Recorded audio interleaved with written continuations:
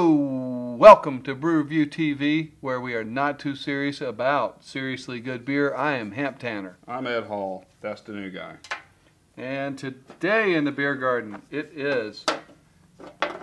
We've never had it, but we think it's going to be a delicious IPA from Firestone Walker It'll be a blockbuster. called the Union Jack IPA. How about I tell us about this beer? Uh, Firestone Walker is located in California. In what town? Paso Robles. Paso Robles. Next. They're in the Central Coast. And uh, this beer was reviewed over at beeradvocate.com by 443 advocates. Not representative. Nope. And they gave it an average of an A minus. And the brothers at beeradvocate.com gave it an A. Not representative. Not representative. ABV, 7.5%. Oh boy. That Decent? smells nice. Let's see what else I like about the this beer. This beer appears on page 529 in the 1001 beers you got to have before death comes. okay, I can get And uh, that's it. uh, let's have a drink. Orange, yellowy, gold. Head white and the lacing. I'll tell you what, not much carbonation though. It's not bubbling from below. Got little bubbles, two little bubbles for the lacing. Almost dark white on that head. Not quite. A little bit off white. But real thick. I like that quite a bit. Real thick. I haven't tasted it. You know me. Yeah, I like to ease into Mhm. it. you do. On the nose, there's a lot of malt. Just taste it. The guy is in a rush all the time. No patience. No patience. No patience. Mm. Mm. I'll tell you this. Beard, what do you got? Like it? Really good. Really I good think it's really citrusy. good. Really good citrusy flavor. Grapefruity. I like this. Grapefruity. Maybe like pink grapefruit. Not not the gray kind, the pink kind. I think it's citrusy, flowery. You know what it reminds me of? Don't say it. Pliny? Are you gonna say Pliny? With a little bit of malt added. A No. Little more bit, mal- tiny little malty- bit. A little malty, Tiny bit. than Pliny. Just Yes. a pinch. You don't get the smell. you don't get that floral smell True. like on the Exit 4 or the Pliny. Exit 4 has also got a Belgian component to it. right, it. but I don't even consider that anywhere near a Belgian. It's That beer is almost like a Pliny. The floralness and the citrus of it. Okay.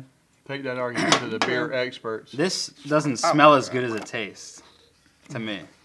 I'm gonna tell you what this smells like to me. It smells like Granted, Dogfish I- 90 on the nose, but it doesn't taste day like it long. that More much. flowery, citrusy than the 90. But on the mm-hmm. nose.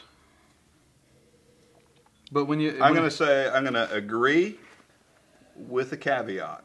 A little bit less maltiness Yeah. on the nose than but, the 90. but when it when it hits the tongue, it is pretty all pretty much all citrusy. Yeah. Not uh, with a little malt balance, but it's not not that malty on the taste. I know where I'm nose. going. It's not that hoppy.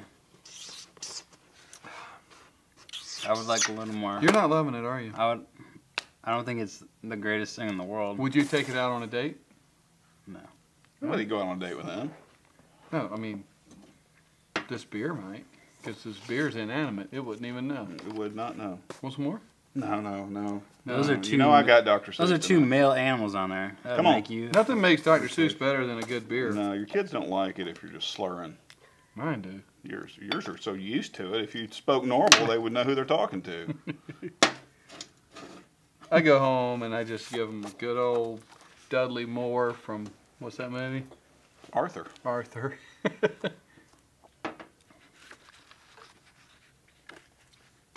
Got to come up with a number, man. Uh, I got a it's number. about. I got a number for you. I know what you're going to come up with. You have no idea. I do. I bet I, I do. I really do. How's Okay, jot it down on yours. Find out. I haven't written anything yet. You people are watching. You jot it down in pencil. What I'm going to score it. Don't I'm not look. looking. Am I looking? I am listening though, so you better do it quietly. All right. Well, I think I know what he wrote.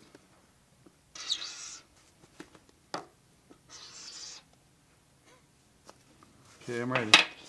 You underscored it, dude. 91, he did. Yeah. Yeah. Go. 93. I gave it an 11. 92. Well, that's what I had right here. 11. wait, wait, wait. I forgot to put this on the front. 91, people. That's a, you're 91. three. You're way under. You give it a 93? 93. Yeah. Wow, and you? it 93. 92. We're all close. What'd you say? What'd you write down for me? 92? 93. 93. You wrote down 93 I thought you were gonna hit 93. Damn. Really? I didn't rave about it. I it. think I do too. Field. 93. Wow. You know why? Why? Because I like the uh, uh, citrus e, but not bitter. A little bit of little bite, not much. touch a bit of malt on it, but it reminds me of the Pliny with uh, if you took a little shot of malt and put it in there. All right, let me let, like now let me tell you why I didn't score it as high, and I'll try to be brief. Please. It's not as malty as something I like that's malty, like the Dogfish 90, and it's not as citrusy as something that I like citrusy, like Sculpin, Pliny.